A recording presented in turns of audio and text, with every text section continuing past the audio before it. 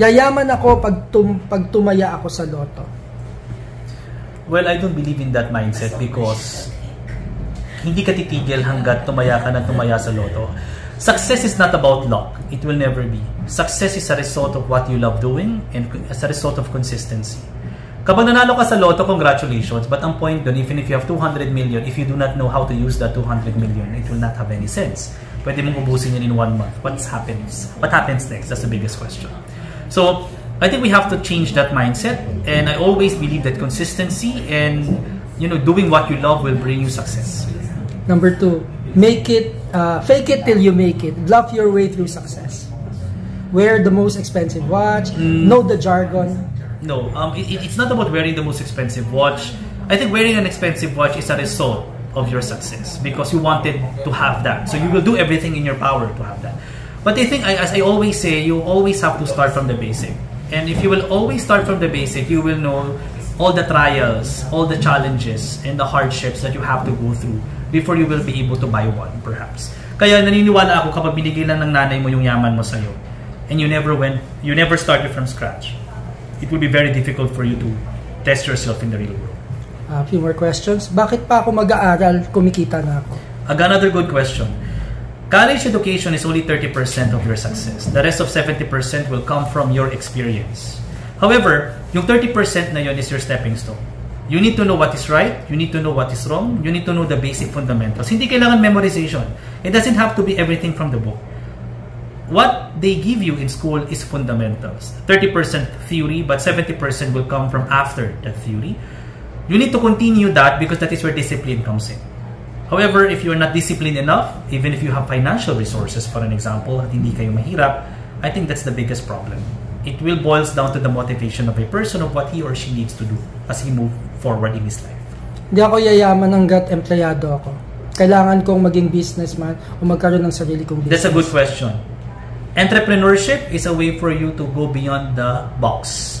Minsan kasi we are already in our comfort zone. It means that you're already used to what you're doing for the past 15, 20, 30, 40 years. Even if you are working as a vice president of a multinational company, you're only good at that specific expertise, for an example, for finance. That's why most of the people from corporate, after working for 40 years and they plan to retire and they want to have their own business, it will be very difficult for them to do entrepreneurship. Bakit? Sa Bisaya, nano. Because first, they do not know what is total management. So if you will ask me, do you need to become wealthy? I think that's the wrong reason about I want to go outside of corporate para yumaman. I want to go outside of corporate because I want to challenge myself perhaps, go beyond my comfort zone and try something new for myself so that I can also, you know, try and test the waters. Last question, kailangan kong i-close si boss para pag magpo-promote na maalala niya ako. That's a wrong mentality in the Filipino culture, but that's the normal one. It, it happens in real life. Siksipan system actually exists in any organization, and that is where politics or political will come in. However, we wanted to mitigate those.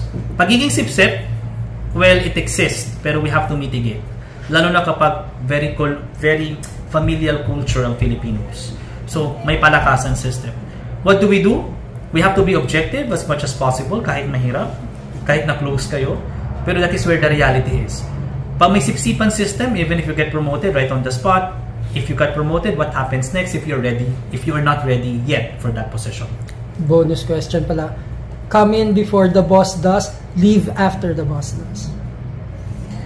it's more about initiative, trying to prove yourself that you're worthy in the organization. And aside from that is, hindi siguro pakitang tao yun. I think if you are really, if you really love what you do because you're motivated to go to work, going before the boss comes in, sorry, let's change the, far- the phrase.